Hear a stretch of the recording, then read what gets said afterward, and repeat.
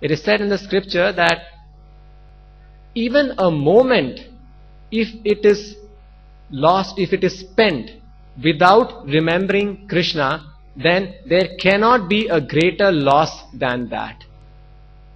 Yan muhurtam shanam vapi vasudevam na chintan. Yan muhurta, muhurta means a moment.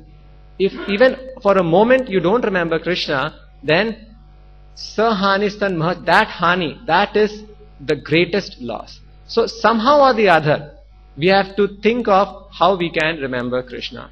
And this somehow they are always trying to remember Krishna means always we should be thinking of how to chant the holy names of Krishna. That is one practical guideline that Prabhupada has given us. Always, every moment, from birth till death. This is what Bhagavatam teaches us. We have to think of Krishna. Somebody may say that, how can we think of Krishna or chant Krishna or remember Krishna right from birth to death? It is little difficult. But yeah, it is difficult. So that is what is being told that we have to practice that. By practice, it is possible. At least now that we have come to know, from this point onward, we should remember Krishna always. We should chant always. In the scriptures, there are many examples where great souls have remembered Krishna right from birth till death.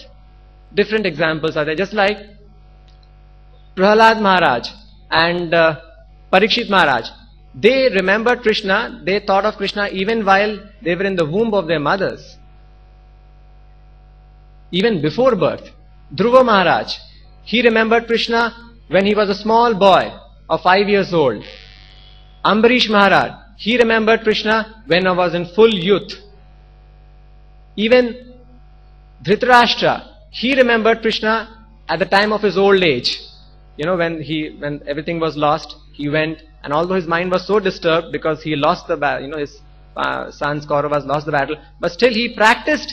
Imagine if Dhritarashtra could remember Krishna, he was in so much of anxiety because of the loss of his son. And at that old age also he practiced and remembered. So we can remember Krishna. And Ajamila remembered Krishna at the time of death. So right from birth till death, there have been cases where devotees have remembered Krishna. But, so it is possible. But for us it is very important to note that we cannot just think that, oh, I will continue with my activities and I will remember Krishna at the time of my death. That is not possible.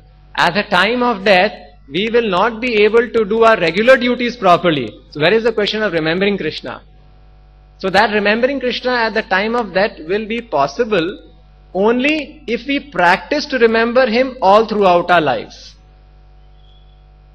And that practice of remembering Him all throughout our life is the practice of taking to the process of chanting Hare Krishna mantra.